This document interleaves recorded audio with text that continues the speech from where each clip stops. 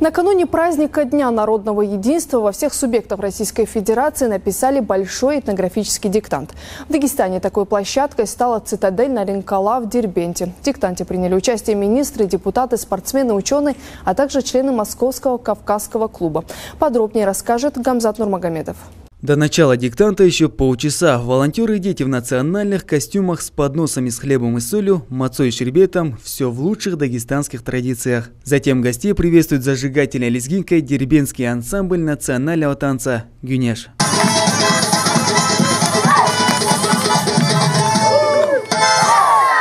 Дербен встречает солнечной погодой. После красочного открытия все участники диктанта прошли внутрь цитадели, где на открытом воздухе расставлены парты и стулья. Присоединиться к написанию БЭДа, то есть большого этнографического диктанта, может любой желающий. Образование, вероисповедание и гражданство не имеют значения. Главное, чтобы человек владел русским языком. Так, фамилия Нурмагомедов Гамзат Нурмагомедович.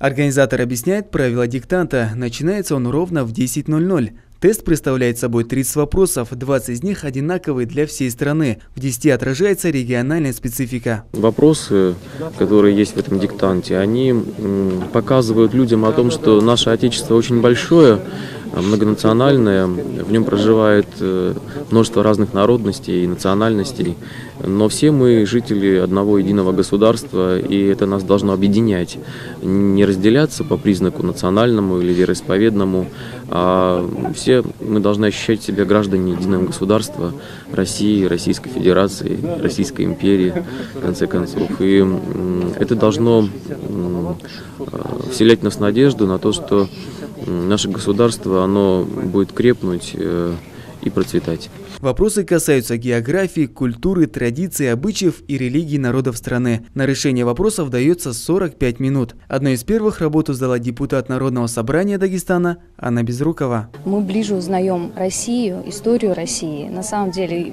были очень сложные вопросы, на которые приходилось задуматься и включать логику, потому что ну, невозможно все знать, а чисто логически уже ты понимаешь приблизительно, какой может быть ответ. Но я думаю, если ежегодно вот такие тесты будут проводиться. Плюс еще, если эти тесты будут вводиться обязательными в школах, то, я думаю, будут положительные плоды мы этого получим. Мир, процветание всех народов, проживающих на территории Российской Федерации. Участники начинают сдавать работы. Большинство пишут это диктант впервые. Многие из них узнали об акции от знакомых и коллег. Сам задумался, надо, видимо, больше времени с книгами проводить, чем с телефоном.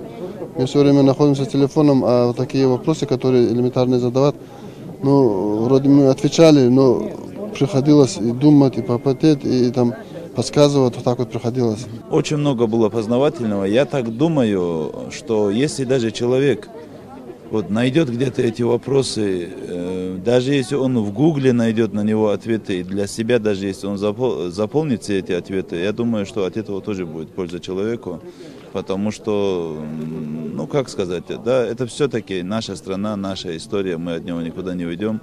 И зная это все, нам будет легче как-то воспринимать друг друга. Большой этнодиктант впервые был организован в прошлом году. В нем приняли участие около 100 тысяч жителей России. В этом году участвующих в разы больше. Отличие состоит в том, что акция получила статус международной. И он направлен прежде всего на то, чтобы пробудить в молодом населении э, как раз вот в этой категории прежде всего интерес к познанию большего о, соседях. Да? Вот мы вместе живем все, и сегодня, допустим, находясь в Дербенте, мы можем писать, отвечать на вопросы в тестировании о том, э, как, какую, например, там, об особенностях кухни народов, коренных народов малочисленных Севера, Сибири и Дальнего Востока Российской Федерации. Но это же действительно интересно, то есть изучать историю, культуру, культурные особенности э, своих сограждан. Да, мы все один большой народ, и это действительно важно и интересно знать друг о друге и гордиться друг другом. И есть огромное пространство, которое называется общество, с положительными э, тенденциями и, конечно, к сожалению, с отрицательными тенденциями. И в зависимости от того, первым долгом долгом общества, какую информацию ребенку будет преподавать, как ее будет отсеивать учитель э, во время образовательного процесса, и как ее будет а, а, отсеивать, э, реформи, то есть, он так говорит, как бухгалтерия говорит, отчекрыживать родитель, родитель. От этого зависит. То есть мы должны работать совместно. Общество, учитель, родитель над ребенком. Потому что ребенок это продукт нашего труда. Мы должны воспроизвести того ребенка, которого мы хотим видеть. По завершении диктанта состоялся пресс-подход. Министры, главы городов и районов республики поделились впечатлениями от просветительской акции и выдвинули свои предложения на будущий год поняли, что все-таки нам самим тоже надо углубиться в знание этнографии, углубиться в знание истории республики. И многие исторические э, моменты, которые имеют важное значение для нашей республики, для страны, конечно, обозначены в этих вопросах. И я думаю, что особенно для молодежи, мы видим сейчас э, молодежь в этом направлении, хотя в последнее время много делается, все-таки много есть э, необходимости, чтобы они знали свою историю, знали своих героев. Был определенный мандраж, вспомнил студенческие годы, по некоторым вопросам, по крайней мере. Знание вот, все-таки истории, культуры своего родного края, это тоже проявление патриотизма. Чего, может быть, все-таки не хватает нашей молодежи. У нас есть много достижений в спорте, дай бог, еще больше, но знание своего истории родного края, это важно. Поэтому мы в школах Дербента в выпускных классах проводим занятия, посвященные тому, что мы готовим экскурсоводов по городу Дербенту. Это тоже очень важно, и вот инициатива министерства тоже правильно. Я сегодня подумала, нам нужно обязательно вместе с Министерством образования и науки разработать этнографический диктант с вопросами, да, связанными именно с народами Дагестана потому что нам не менее полезно больше знать друг о друге здесь, внутри Дагестана.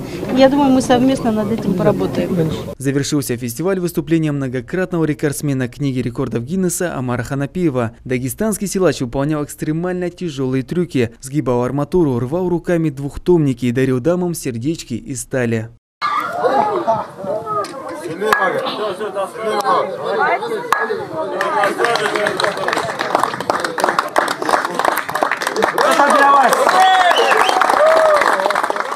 Организатором торжественного мероприятия в Дербенте выступило Федеральное агентство по делам национальностей совместно с Московским Кавказским клубом.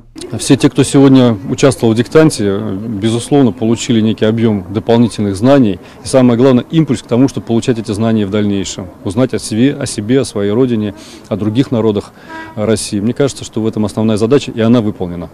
Результаты диктанта станут известны в День Конституции России 12 декабря. Хамза Нурмагомедов, Джалал Магомедов, телеканал ННТ, Дербент.